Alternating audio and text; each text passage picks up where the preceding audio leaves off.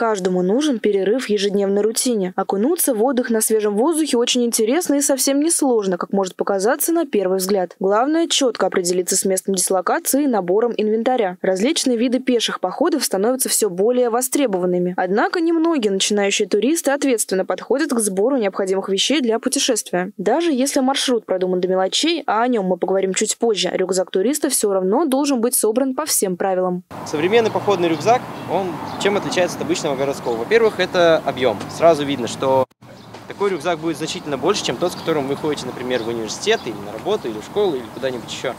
А, то есть, как правило, мы используем рюкзаки там 80, 90, 100 литров и даже больше. У них есть а, вот такой вот удобная, удобная спинка с лямками. И самое главное, вот такие вот поясной ремень, который как бы будет разгружать вашу спину. Вещь, без которой мы не можем представить никакой поход, это, наверное, пожалуй, палатка. Вот так вот она выглядит, такая довольно крупная, увесистая. И следующие вещи уже, наверное, не столь очевидны. То есть это, во-первых, то, в чем мы будем спать в походе, это спальный мешок. То есть вот он у меня такой довольно объемный, он очень теплый. С таким можно спать прям в минусовых температурах. Естественно, для такой погоды, как сейчас, подойдет спальный мешок там, ну, раза в три меньше, чем этот. Еще очень важный элемент снаряжения – это пенка. Такая вот простенькая, похожая на гимнастическую. Но важно отличать их, потому что туристические пенки, они немножечко жестче, немножечко толще, соответственно, лучше удержат ваше тепло. Они для чего нужны? Ну, э, во-первых, мы на них спим, во-вторых, мы можем их там как-то постелить, посидеть на них, еще что-то такое, такое сделать, там, заканчивая там просто вот так вот махать костер.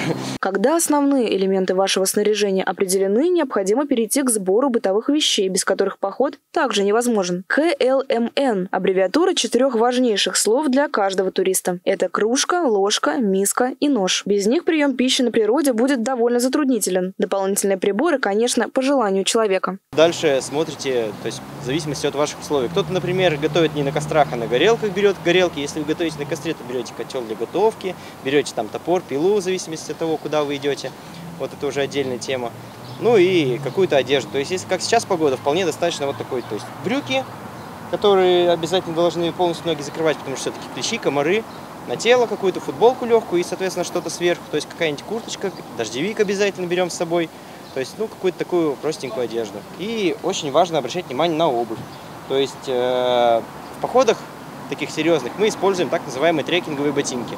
Конечно, в походах попроще можно ходить и в кроссовочках, и еще в чем-то таком, но если вы идете куда-то в горы, то очень важно уже обращать на это внимание. Для качественного похода важны две вещи – это уверенность и палатка. Но если уверенности можно набраться прямо в процессе экспедиции, то с палаткой лучше разобраться заранее, еще до выхода из дома. Антон, давайте разберемся, как правильно нам расставить палатку. Да, давайте, вот у меня в руках палатка, которая, ну, довольно современная, хорошая, легкая. А, она значительно отличается от тех, которые вы могли видеть, например, в советских кино, мультфильмах, там такие треугольные, тяжелые, которые тяжело ставить. Современная палатка весит ну, не больше 3 килограмм, 3-4 килограмма. А, помещается в нее 3-4 человека спокойно. И как бы она довольно ветроустойчива и влагоустойчива. То есть как бы дождь, ветер, нам ничто не страшно в ней. Любая палатка состоит из трех вещей. Тент – то, что защищает от дождя и ветра. Чаще всего он ярких цветов. Это предусмотрено для быстрого поиска палатки в случае чрезвычайной ситуации. Далее внутренняя часть палатки, та, в которой происходит основное действие, например, сон туриста. Ну и третья вещь, без которой не встанет на ноги ни одна палатка – дуги. В первую очередь раскладываем дуги. То, то есть дуги – это основание нашей палатки. На это... ней держится вся палатка, непосредственно да. ткань. Да, по сути, да. То есть эти дуги, они, собственно, создают каркас для нашей палатки. У меня есть внутренняя часть палатки, в которой есть кармашки под эти дуги. Сейчас мы их э, ставим, и у нас уже палатка приобретет какую-никакую форму. Примерно палатка ставится минуты 3-4. Ошибиться здесь довольно сложно, потому что все палатки сейчас сделаны очень просто. Сейчас у нас появился каркас внутренний. То есть, как видите, внутренняя палатка. Вот здесь есть два входа, а, окошки для вентиляции, э, непромокаемое дно. Но вот это все как бы, если дождь пойдет, то оно сразу, естественно, зальет. Чтобы такого не произошло, растягивается тент. Он прослужит защитой от непредвиденных погодных условий. Чтобы палатка была устойчивее, необходимо приколотить ее колышками к земле, в прямом смысле этого слова. Для этой палатки нужно 6 штук. Ну, как правило, это ну, от 4 до 6 штук на палатку. Колышки легко можно заменить обычными там веточками.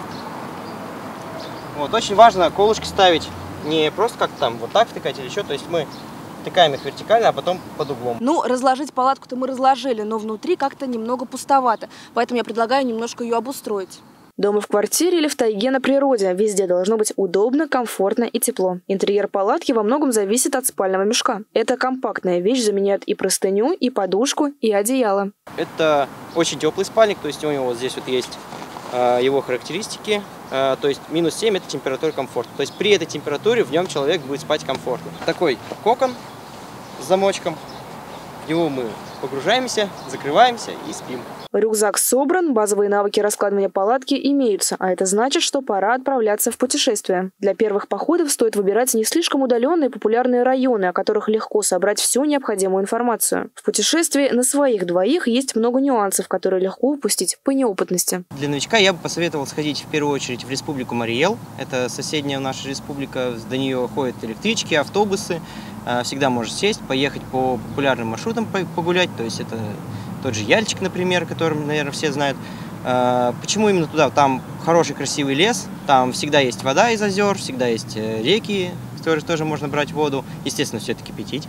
Э, вот. Э, маршруты очень популярные, дорожки уже все есть, и поэтому там ну, очень сложно потеряться. Если посмотреть на Республику Татарстан, то есть уже по нашим краям, то очень популярно это Камское устье, но там есть некоторые проблемы с водой, некоторые проблемы с тем, что там уже слишком много людей, вот. Ну и, возможно, кому-то будет интересно Щучьи горы, например, но это тоже уже район такой немножечко э, поинтереснее, то есть это вот как раз уже ниже Камского устья. Ну что ж, а я для себя приняла одно очень важное решение. Мне не нужны Мальдивы и Турция, когда есть наша любимая Россия. Карина Саяхова, Александр Фирсов, Универньюз. Thank